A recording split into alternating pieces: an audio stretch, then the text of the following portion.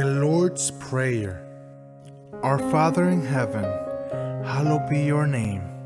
Your kingdom come, your will be done, on earth as it is in heaven. Give us this day our daily bread, and forgive us our debts, as we also have forgiven our debtors. And lead us not into temptation, but deliver us from evil. Amen.